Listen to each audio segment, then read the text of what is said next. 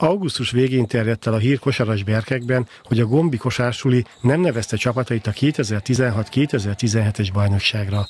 Mivel így közel 100 gyerek pályafutása került veszélybe, a sportákban érintett nyíregyházi egyesületek vállalták, hogy a kosárlabda mellett tartják a fiatalokat.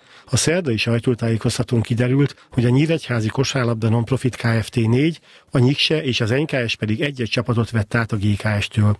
Mivel a sportágfejlesztési program keretében a Gombi kosársulinak megítélt 54 millió forintos TAO támogatás elvész, a csapatok felkészítése és versenyeztetése plusz terheket jelent a segítőklubok számára. A pluszköltségek, amik felmerülnek nyilván korosztályoktól, a versenyző bajnokság szintjétől, színvonalától nagy mértékben függenek.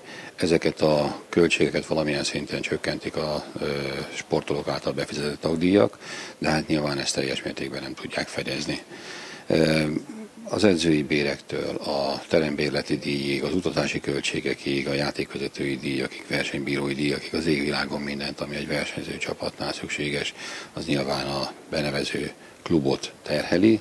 A sajtótájékoztatón elhangzott, hogy új elnöksége van a megyei szövetségnek. Az országos szövetség a jövőben a korábbinál több feladattal látja el megyei szervezeteit iPad-eket kaptunk, amelyeket tovább tudunk adni a sportszervezeteknek ahhoz, hogy kipróbálják az elektronikus jegyzőkönyv készítését, amely néhány éven belül kötelezővé válik országos szinten, tehát ezeket is be kell, meg kell tanítanunk, de ugyanilyen fontos tény, hogy még több játékvezetőt képezzünk, minden évben indítjuk a játékvezetői tanfolyamot, ez idén is megtörténik majd, és jövőre újabb fiatalok, és nem csak fiatalok nyilván, hanem olyanok, akik a kosárlabda életbe szeretnének aktívan tevékenykedni, vállalhatnak kapnak játékvezetést.